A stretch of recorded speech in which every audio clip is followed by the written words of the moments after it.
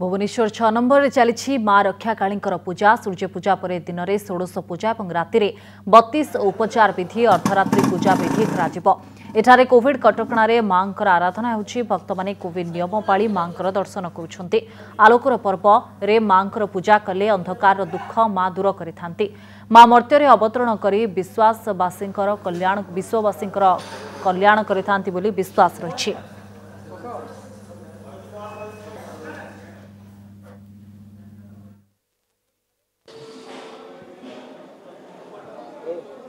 ଆଜି ହେଉଛି ଦୀପର ପର୍ବ ଦୀପାବଳି ଏବଂ ମା କାଳୀଙ୍କର ପୂଜା ମଧ୍ୟ। ଆଜିର କ'ଣ ପୂଜାବିଧି ରହିଛି କେମିତି କେଉଁ ବେଦମନ୍ତ୍ରରେ ମାଆଙ୍କର ପୂଜା ପୂଜା ଅର୍ଚ୍ଚନା କରାଯାଏ ସେ ବିଷୟରେ ଆମେ ବିସ୍ତୃତ ଭାବରେ ଆଲୋଚନା କରିବା। ଆମ ସହିତ ଛଅ ନମ୍ବର ଯେଉଁ କାଳୀ ମନ୍ଦିର ଅଛି ତାର ପୂଜକ ଅଛନ୍ତି। ଆଜ୍ଞା ଆପଣଙ୍କୁ କନକ କନକ ନ୍ୟୁଜ୍କୁ ସ୍ୱାଗତ କରୁଛି। ଆଜ୍ଞା କ'ଣ କହିବେ? ମାଆଙ୍କର ଯେଉଁ ପୂଜାବିଧି ରହିଛି ଆଜି କ'ଣ ପୂଜାବିଧିରେ ମାଆଙ୍କର ପୂଜା କରାଯାଏ?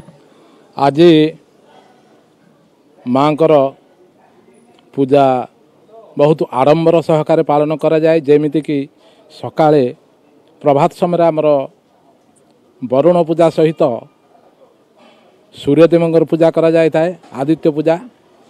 ଏବଂ ଦିନରେ ଷୋଡ଼ଶ ଉପଚାର ସହିତ ମାଙ୍କର ପୀଠ ପୂଜା କରାଯାଇଥାଏ ଏବଂ ଘଟ ସ୍ଥାପନ ମଧ୍ୟ କରାଯାଇଥାଏ।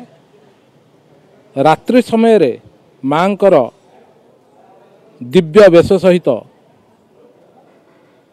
ତାଙ୍କୁ ବତିଶ ଉପଚାର ଏବଂ ଅର୍ଦ୍ଧରାତ୍ର ବିଧି ଗୋ ପୂଜା ସହିତ କୁଷ୍ମାଣ୍ଡ ବିଧି କର୍ମ ଇତ୍ୟାଦି କରାଯାଇଥାଏ ଆଜ୍ଞା ଆଜିର ଦିନରେ ମାଆଙ୍କର ପୂଜା କରିବ ଯେଉଁ ଭକ୍ତମାନେ ମାଆଙ୍କୁ ପୂଜା କରୁଛନ୍ତି ବା ମାଆଙ୍କ ପାଖରେ ଦୀପ ଗୋଟେ ଜାଳୁଛନ୍ତି କ'ଣ ବିଶେଷତ୍ୱ ରହିଛି ଆଜିର ଦିନର? ହଁ ଇଏ ତ ନିଶ୍ଚିନ୍ତ ବିଶେଷତ୍ୱ ନିଶ୍ଚିନ୍ତ ଅଛି। ତମସ ମା ଜ୍ୟୋତିର୍ଗମୟ। ମାଙ୍କର ଏକ ବିଶେଷ କଥା। କାରଣ ତମସ ହେଉଛି ଅନ୍ଧକାର ଜ୍ୟୋତି ହେଉଛି ଆଲୋକ ବା ଦୀପ। ଆମେ ଅନ୍ଧକାର ପାଇଁ ମାଙ୍କ ପାଖରେ ଦୀପ ପ୍ରଦାନ କରୁ ଏବଂ ସାରା ରାତ୍ରି ରାତ୍ରି ପୂଜନ ବିଧି ମଧ୍ୟ ଆମ ତଣ୍ଡିରେ ବର୍ଣ୍ଣନା କରାହେଇଛି। ରାତ୍ରି ସୂକ୍ତରେ ସମ୍ପୂର୍ଣ୍ଣ ବର୍ଣ୍ଣନା କରାହେଇଛି।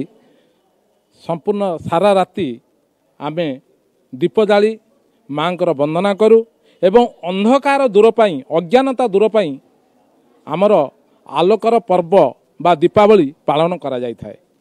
ନିଶ୍ଚିତ ଭାବରେ ଆମ ସହିତ ମନ୍ଦିରର କମିଟି ମେମ୍ବର ମଧ୍ୟ ଅଛନ୍ତି। ସାର୍ କୋଭିଡ଼ କଟକଣା ଅଛି କଟକଣା ଲାଗିଛି।